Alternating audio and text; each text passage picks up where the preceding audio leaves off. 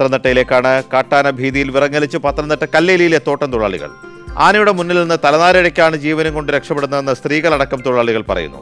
Harrison എസ്റ്റേറ്റിന് ചുറ്റും പൂർണതോതിൽ സൗരോർജ വേലി സ്ഥാപിച്ചാൽ മാത്രമേ ലയങ്ങളിലുള്ളവർക്ക് സുരക്ഷിതമായി കഴിയാനാകൂ.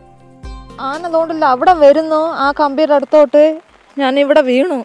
വീണ ഉടനെ ഞാൻ എന്നിച്ച് നോക്കുന്നു എന്നെ കൊണ്ട് എന്നിക്കാൻ പറ്റില്ല. ആങ്ങളെ എന്നെ ഞാൻ വീണത് കണ്ടില്ല. ആങ്ങളെ പറഞ്ഞു നീ എങ്ങനെയല്ലേ രക്ഷപ്പെട്ടേക്കെന്ന് പറഞ്ഞു. അവൻ എന്നെ പൊക്കാൻ വരുമെന്നെങ്കിൽ രണ്ടുപേരും കൂടെ കിടന്ന് ചാവും. പുലർച്ചെ ജോലിക്ക് പോയപ്പോൾ കാട്ടാനയ്ക്ക് മുന്നിൽ പെട്ടുപോയ അനുഭവമാണ് വത്സമ്മ കണ്ണീരോടെ പറയുന്നത്. ലയങ്ങളിൽ താമസിക്കുന്ന തൊഴിലാളികൾക്കെല്ലാം ഇതേ ഭീതിയാണ്. പണിക്ക് പോയിട്ട് ഞാൻ പറഞ്ഞില്ല എവിടെ നിൽക്കുമ്പോൾ വെട്ടിക്കൊണ്ടിരിക്കുക ഈ മക്കളെ ആ മക്കളെ കൊടുത്തോടാണ് എനിക്ക്. രാപ്പകലില്ലാതെ കാട്ടാന ശല്യം രൂക്ഷമാണ്. കുട്ടികളെ സ്കൂളിലേക്ക് വിടാൻ പോലും പേടി. കാട്ടാന ശല്യത്തെക്കുറിച്ച് റിപ്പോർട്ട് ചെയ്യാനെത്തിയപ്പോൾ ഞങ്ങളുടെ ക്യാമറയുടെ മുന്നിലും ആനപ്പെട്ടു. ഇതേപോലെ ആന ജനവാസ മേഖലയിലേക്ക് ലയങ്ങളിലേക്ക് എന്നുള്ളതാണ് ആളുകളുടെ ആശങ്ക. ആനകളെ തുരത്താൻ താൽക്കാലിക വാച്ചർമാരുടെ സേവനം മുൻപുണ്ടായിരുന്നു.